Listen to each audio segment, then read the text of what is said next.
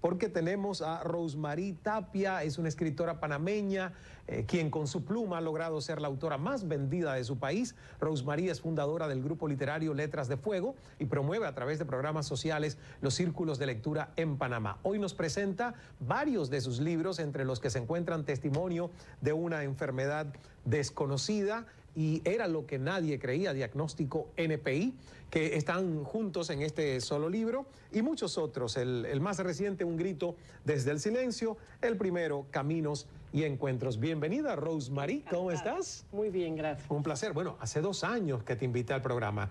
¿Recuerdas cuando nos conocimos en la Feria Internacional del Libro sí, de Panamá? Lo que pasa es que mi salud a veces da sorpresas. Exactamente. Y, y, y fíjate, comencemos hablando de la salud porque creo que llegaste a convertirte en escritora debido a tu frágil salud, ¿correcto? Sí, porque desde niña tenía que estar confiscada una cama uh -huh. y cómo entretienes a un niño uh -huh. de manera pasiva, leyendo. O sea que desde niña comenzaste a leer. A leer, a leer, a leer y todo el que lee incansablemente puede terminar escribiendo. Pero no necesariamente. Pero a lo mejor sí, si tienes esa, esa, esa pasión. Eso, pero, pero tiene que haber, eh, claro. digamos, algo en ti que comenzó a despertar no solo el, el, digamos, el interés de leer, sino Fue el un interés... profesor de literatura Ajá. que me hizo amar la literatura, el profesor Roberto Carrizo. ¿Ah, sí? Sí, me hizo amar la literatura y con todo lo que yo leía, yo dije, yo quiero ser escritor. ¿Y él te, te medio invitó a escribir? No, pero es que nos invitaba a leer. Ah. Y entonces nos ponía a escribir y a redactar. ¿Qué tiempo hace del primer libro a este último? ¿Cuánta historia escribiendo? 15 años. 15 años. 19 libros. 19 libros en 15 años, o sea que has escrito más de un libro muchas Es que veces. Yo escribo todos los días menos el domingo. Yo descanso el domingo. ¿Ah, sí? Sí. Descansas el domingo. El domingo. ¿Y si una gran idea viene los domingos? No descanso. o sea no que has descanso, escrito algunos sí, domingos. Sí, cómo no he escrito algunos Qué bien. Bueno, yo quiero, quiero agradecer a distribuidora Luis. Que mi editor desde hace cuatro años. Porque va, me alivió el trabajo. Eso. Antes lo hacía yo todo. Y eso me tú encantó. sabes que en Panamá la mayoría de los escritores tienen que hacerlo todo. Mm. Entonces es una escuela y vas aprendiendo. Pero llega el momento que te sobrepasa y no puedes. Y ellos han sido una gran ayuda y han duplicado mis ventas. Claro, pero lo interesante es para mucha gente, Rosemary, que siempre se queja de que no tiene un editorial que los publique, aquí está uno de esos casos donde tú tomas. Yo oriento a las personas Ah. para que comiencen. Si yo lo hice con una salud, no digo débil, porque soy fuerte, subversiva, brotes por todos lados, ¿por qué no lo puede hacer una persona que está sana? Justamente para hablar de, de tu salud, este testimonio de una Ese enfermedad... está en Amazon Ajá. porque los otros vienen y era lo que nadie creía ¿Separados? y diagnóstico NPI. Pero acá en los Estados Unidos, en Amazon, la gente prefiere leer el libro junto. Ok, que es, Sí. eh, son dos libros en Sí, realidad. dos libros, sí. Pero que son como una especie Sí, de continuación. Es que continuación, son secuelas. Exactamente. Ahora, cuando tú dices una enfermedad desconocida, ¿por qué desconocida? Porque 50 años no se supo el diagnóstico. Es más, cuando yo publico la segunda novela, todavía no se conocía. Tú sabes lo que significa NPI. No, yo no, No. sé. Diagnóstico n idea. Ah. Y entonces eh, yo tuve donde un internista. Entonces Héctor Castro tuvo razón, uno de mis productores. Sí. Entonces yo tuve donde uno de un internista y me dijo, yo sé quién puede dar con esto, y me manda donde un reumatólogo. En dos meses tuvo el diagnóstico. Y entonces yo le hice un post escrito a NPI para que el lector no quedara con eso que no se supo nunca y para que las personas que andan buscando un diagnóstico tengan esperanza de que si uno se encuentra el médico adecuado, encuentra el diagnóstico. Pero eh, eh, ojalá que sea Antes. eh, exactamente en un tiempo mucho menor a 50 sí, años. Sí, pero yo soy una guerrera y yo aguanté eso y aguanto más. Porque hay un refrán, mujer enferma, mujer eterna. Wow, yo nunca había escuchado eso, No me lo Rosemary. inventé yo.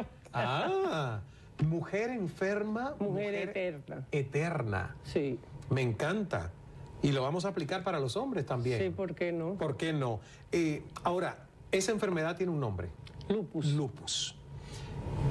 ¿Qué es lo que produce esa enfermedad? ¿Qué, es lo que...? vasculitis, artritis, te afectan las neuronas, pierdes el conocimiento, te afectan los riñones, te afecta multisistémica. Es una enfermedad del sistema inmunológico. Sí, es una enfermedad del sistema inmunológico. No se sabe la causa. ¿Y qué tratamiento tiene esa enfermedad? solo paliativo, solo sintomático. Pero te permite escribir. claro, te, permite vivir. Exacto. Y también escribir te separa de tu enfermedad, no te centras en tu enfermedad. O sea, tú creas un, un universo paralelo. Cuando decides escribir, Caminos y Encuentros es tu primer libro y además un libro con el que ganas mención de honor en el concurso Ricardo Miró en el año 2000. Pero he visto la colección de tus libros y la mayoría de tus libros tienen temas sociales importantes. ¿Cómo los escoges? Algún incidente que causa cierta resonancia en mí, que me oprime, que me entristece, que siento que tengo que hablar por lo menos el de Roberto por el buen camino. Fue un incidente en una discusión con un delincuente juvenil y un taxista. O sea, esto es de las pandillas. Y yo sí, yo me di cuenta el nivel de inconsciencia del chico. Y yo quise hacer un libro para que ellos supieran que podían retomar el buen camino y a la sociedad para que le dé la mano para que lo logren. Bueno, eh, ustedes entenderán que Roberto por el buen camino en Panamá ha vendido más de 74 mil ejemplares ha sido traducido al inglés y como dice Rosemary, el tema de la violencia, de las pandillas, es el tema central de este libro. En Caminos y Encuentros, ¿cuál fue la inspiración? La inspiración fue la época de la dictadura de Noriega, mm. la persecución selectiva que hubo en Chitré, pero va entrelazada con la evolución espiritual de la protagonista que no entiende la intuición. A veces cuando somos intuitivos nos asusta debemos usarlo a nuestro favor y no en contra, para advertir ciertas situaciones. Eso es caminos y encuentros. Cuando tú escribes, ¿tú piensas en un lector en particular? ¿Imaginas a tu lector? Sí. ¿Quién es tu lector? Mi lector en un inicio fueron los jóvenes. ¿Por qué? Porque si llegas a los jóvenes, contundentemente llegas a cuatro generaciones. Su papá, porque le va a decir al papá y a la mamá que lo lean, sus padres, sus abuelos, él y sus hijos. Entonces ya estás garantizando cuatro generaciones. ¿Y eso fue inicialmente? Eso fue inicialmente. ¿Sigue siendo hoy también ese tu sí, blanco? pero ahora es para todos. Mira, eh, la, novela de bullying yo pensé que solamente eran los estudiantes. Y todo el mundo está interesado en la novela de bullying. Un grito desde el silencio. La mujeres en fuga, que es sobre adicciones no tóxicas. Yo pensé que era para las mujeres y los que más la compran son los hombres. Ahora, el tema del acoso, bueno, todos los temas son interesantes y, e importantes socialmente hablando, pero el tema del acoso eh, eh, de cualquier tipo, como tú dices, es nefasto, y el acoso escolar es en estos tiempos algo de lo que se habla mucho. ¿Es totalmente ficción o tú te basas en un hecho en un hecho. verdadero? Yo pasaba, vi que en un autobús, tres grandulones le pegaban al más pequeño, delgadito, con frenito, anteojito. Yo puse orden desde la acera, todo el mundo para su puesto, y el niño se incorpora, se arregla los anteojitos y me hace así. Ah. Cuando me hizo así, me rompió el corazón. Digo, yo voy a hablar y hice la investigación. Y hay cosas horribles. Hay un chico que me dijo que cuando le pegan en la escuela, más fuerte le pega el papá por gallina y cobarde. Claro. Entonces está acusado en su casa y en la escuela. ¿De qué estamos hablando? Aquí está, Un grito desde el silencio, El oscuro abismo del bullying. Todos estos eh, libros, yo sé que se distribuyen en Panamá eh, de manera exclusiva con distribuidora Luis, pero en el resto de América Latina... Amazon. Amazon, o sea que lo pueden encontrar toda la obra de Rosemary Tapia a través de Amazon.com. Que por cierto, esta semana vamos a hablar de un, concurso que tiene Amazon, que me ha escogido a mí como embajador eh, global para toda América Latina y Estados Unidos, para escritores en español que quieran autopublicarse a través de Amazon. Hacemos una pausa, regresamos conversando con Rosemary Tapia, la escritora más vendida y leída en Panamá. Ya volvemos.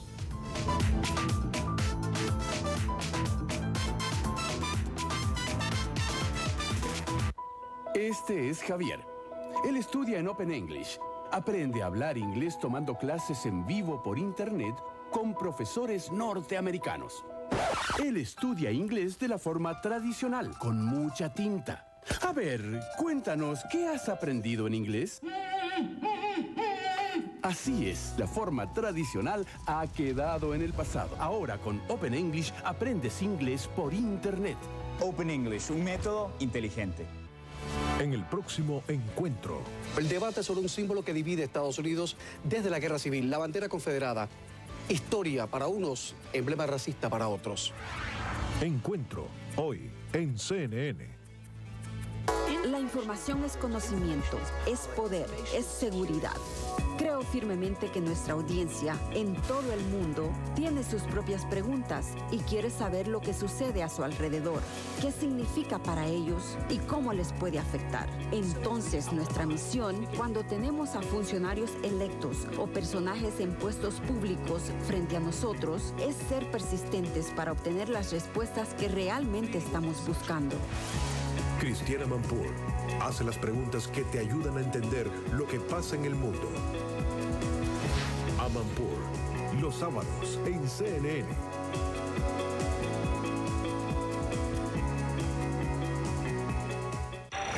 Vivimos en un mundo cada vez más interconectado.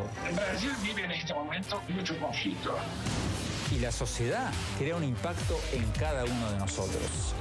Un ciclo constante entonces, ¿qué es lo peor, la droga o el narcotráfico? Es la experiencia lo que vamos a ver en Uruguay. En Oppenheimer Presenta traemos las figuras más influyentes del mundo para analizar los problemas que afectan a nuestra sociedad. Oppenheimer Presenta el domingo en CNN. Analizamos las noticias más impactantes del día. Audaz, versátil, frontal. Para muchos puede ser bien visto, para otros mal visto. Con investigaciones a fondo. Pudiera haber algo en la cueva. Te ponemos frente a los protagonistas para que conozcas sus puntos de vista. Ningún tema está fuera de alcance. La violencia iba dirigida a unos jóvenes. CNN te lleva hasta el fondo de los hechos para que saques tus propias conclusiones. Esta noche en CNN. Soy Mario González desde la Ciudad de México reportando para todos nuestros paisanos en América Latina. CNN te lleva al centro de la acción deportiva en la Copa América Chile 2015. Empieza la mañana con Carlos Montero, en vivo desde Chile en Café CNN. Continúa junto a Miguel Ángel Antoñanzas y conoce a los aficionados del fútbol con el reportero aventurero. Concluye el día junto a Luis Gerardo Bucci y todos los detalles de la jornada futbolística en Deportes CNN. Sigue la cobertura especial de la Copa América Chile 2015. Usted está viendo CNN. Este es un espacio para explorar los sucesos que tocan tu vida, para buscar soluciones prácticas, para analizar las noticias pensando en ti. Realidades en contexto, hoy en CNN. ¿Quieres saber lo que hacen? Lo que dicen. ¿Con quién salen? Mariela Encarnación en Miami y Juan Carlos Arciniegas en Los Ángeles cubren toda la emoción del entretenimiento. Showbiz, hoy en CNN. Hola, soy Francho Barón en Río de Janeiro.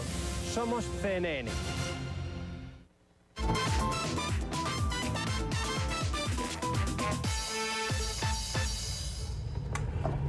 Gracias por estar en nuestra sintonía. Continuamos conversando con la aclamada autora panameña Rosemary Tapia, autora de casi dos decenas de libros, entre los que se encuentran La raíz de la hoguera, Niña Bella, La cárcel del temor, Los misterios del olvido, entre muchos otros. Rosemary fundó el grupo literario Letras de Fuego e ideó el programa sociocultural llamado Siembra de Lectores, con el que promueve la lectura en Panamá. Y yo sé que además tienes una pasión enorme por esto de los eh, círculos de lectura, porque me decías que hay más de 200 en el país. 217, pero es en colaboración con Nixia Barrante y el doctor Gustavo Salón. Somos tres, como los tres mosqueteros. Sí. Pero somos incansables, formamos círculos de lectura. ¿Cada qué tiempo se reúnen? Y nos reunimos mensualmente, pero cada uno forma círculos de lectura. Y no solo eso, todo el lector que entra a siembra de lectores tiene un compromiso, conseguir lectores. Y tú ves a chicos de 8, 7, 9 años y ancianos, adultos, mayores ya, consiguiendo lectores, sembrando lectores. ¿Tienes hasta círculo de lectores invidentes? Sí, tengo invidentes, que es letras peregrinas, y tengo los de agua dulce, que son los más entusiastas, milenios, las aventureras de la tercera edad. Mira, yo les doy videoconferencia, yo les digo que yo soy, estoy cerquita de ellos, que estoy a la distancia de un clic. Exactamente. Bueno, a mí me sorprendió cuando estuvimos en el stand de distribuidora Luis en el 2013, que yo eh, me estrenaba con esto de escribir un libro, El Poder de Escuchar, y compartimos nuestra mesa y me sorprendió ver la cantidad de gente en esa Feria Internacional del Libro en Panamá. O sea que Panamá es un país que lee. ¿Estás Así de es. acuerdo con eso, Rosemary? Totalmente. Cambiamos la realidad de que en Panamá no se lee. Exacto. Hemos hecho un trabajo arduo, muchas organizaciones, pero estamos ya cosechando parte de ese trabajo. Sembramos al sol. Sembramos Todavía al sol. estamos al sol, pero cosechando. Cuando hablábamos, bueno, aquí está el tema del bullying. Estos dos libros lo dedicas a la enfermedad. Roberto, por el buen camino, el tema de la violencia y las pandillas. Aquí hay dos obras que son El crepitar de la hoguera y la raíz, raíz de la hoguera. ¿Cuál es el tema de ellas? Nace por un sueño. En vida de mi madre yo le prometí ir a Italia a buscar mis raíces. Mm. No he podido ir, pero yo sueño que estoy en un cementerio en Florencia, que me detengo sobre una tumba y percibo estar sobre mi propia tumba. Y la mujer había muerto. Mi misma fecha de nacimiento, 500 años atrás. Ahí comienza la raíz de la hoguera. Cuando los lectores me piden continuación en la feria, esa misma noche sueño que regreso a Italia, que me cae un pasajero encima con una pluma incrustada en la garganta. ¡Wow! Entonces ahí están las novelas de los sueños. La novela de los sueños. Has vendido ya los Sí, derechos sí, de algunas de estas novelas para hacer series de televisión y Eh, bueno, películas, eh. Mujeres en Fuga está en preproducción para cine. Ajá. Entonces ellos me hicieron firmar un, por las dos, la raíz de la hoguera y el crepitar de la hoguera. Pero ahora están tramitando, están en preproducción para Mujeres en Fuga. Porque yo tengo mucho fe en el cine en Panamá. Claro, claro. Y además es un país que está impulsando las artes en sentido general, así que me encanta que puedan llevarse tus libros también a la literatura. Eh, internacionalmente, porque yo sé que los panameños conocen toda tu obra. Eh, ¿Posibilidades de que esta, esta obra de Rosemary Tapia se pueda publicar en otros países, Rosemary? Claro que la posibilidad existe. Claro que existe. Bueno, pues aquí estamos. Para todos los, editores que nos están además, viendo en otras recuérdate partes. que distribuidora Lewis tiene conexión con Sí. todos los editores del mundo. Entonces ellos son muy dinámicos también. Y yo lo haría a través de ellos. Yo soy fiel. Muy bien. ¿La película va a ser hecha en Panamá? Sí, ellos dicen que va a ser hecha en Panamá, pero el elenco tú sabes que es de todas partes. Puede ser internacional. Sí, puede ser internacional. Muy bien, vamos a hacer la última pausa en nuestra conversación con Rosemary Tapia. Todos sus libros los pueden encontrar en amazon.com. Bueno, si viven en Panamá, obviamente que En lo pueden hacer puestos. en los puntos de venta. Vamos a hacer el selfie, una foto con propósito, selfie con propósito. Eh, eh, Rosemary, dos palabras que le den propósito a esto. Compromiso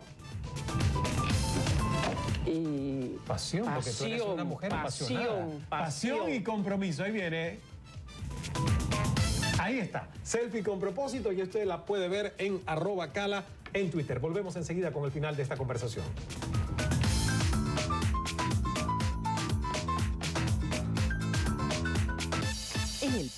Cara. Entérese de lo mejor de la Copa América y del Mundial Femenino de Fútbol. Además, el precandidato presidencial argentino José Manuel de la Sota y su proyecto País. Gala, esta noche en CNN. Cada evento en el mundo tiene una causa y una reacción económica. ¿Cuáles son las consecuencias? ¿Cómo te afectan? CNN Dinero te abre una puerta al mundo de las finanzas. CNN Dinero, de lunes a viernes en CNN. ¿Ya planeaste tu próximo viaje? ¿Estás pensando en un lugar exótico? ¿En vivir una aventura? Alejandra Ora te lleva a los lugares más fascinantes del planeta para que los veas de cerca, los sientas, los vivas. Destinos, el sábado, en CNN.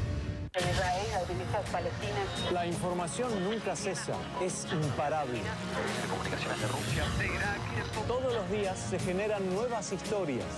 Los principales acontecimientos del mundo en Mirador Mundial el fin de semana.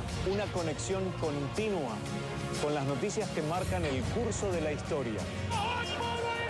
Hoy en día comenzar la semana bien informado es imprescindible. Mirador Mundial, los fines de semana en CNN. Cada evento en el mundo tiene una causa y una reacción económica. ¿Cuáles son las consecuencias? ¿Cómo te afectan? CNN Dinero te abre una puerta al mundo de las finanzas. Evaluamos los acontecimientos que afectan las economías, los negocios y tu bolsillo, con información de primer nivel, entrevistando a líderes, empresarios y expertos en el tema del dinero. Nuestro objetivo es mostrarte cómo gira el mundo alrededor del dinero. CNN Dinero, esta noche en CNN. En el próximo Café CNN. El tiroteo en Charleston revive el debate sobre la bandera confederada en Estados Unidos. ¿Señal de racismo o historia del país? Lo analizamos en el programa. Hoy en Café CNN. Estamos conversando con Rosemary Tapia, la escritora más leída y vendida en Panamá. Nos presenta hoy todas sus obras, casi una docena de obras. Y bueno, una de ellas es Niña Bella, de ella vamos a hablar al regreso. Ahí está la foto, el selfie con propósito, pasión y compromiso. El mensaje de Rosemary Tapia en Cala.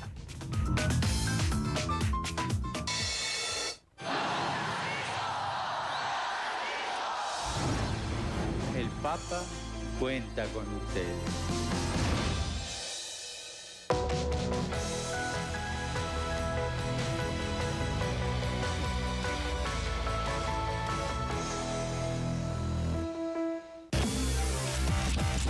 La tecnología gira y se expande alrededor de nuestras vidas.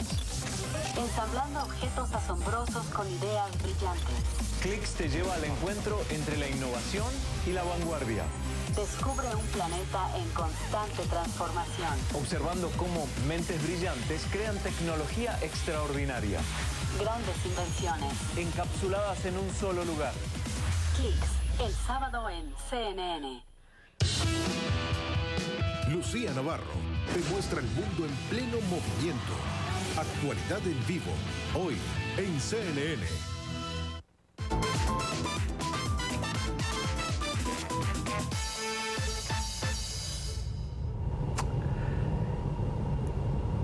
Gracias por estar en nuestra sintonía. Estoy conversando con Rosemary Tapia, la escritora panameña más vendida y leída, 19 obras, o sea, casi, casi ya las, digamos, eh, 20.